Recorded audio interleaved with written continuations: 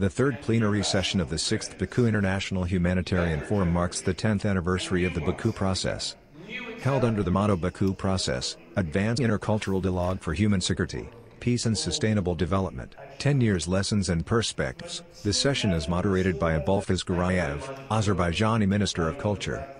The minister provided an insight into Baku process, saying it was initiated by President of Azerbaijan Ilham Aliyev in 2008 with the aim of promoting intercultural dialogue.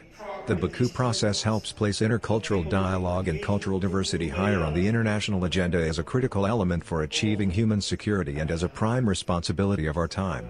A central and integral part of the process, the World Forums on Intercultural Dialogue organized to date have brought together heads of governments, ministers, heads of various international organizations, senior policymakers, cultural professionals, goodwill ambassadors, experts, journalists, practitioners, prominent intellectuals and activists.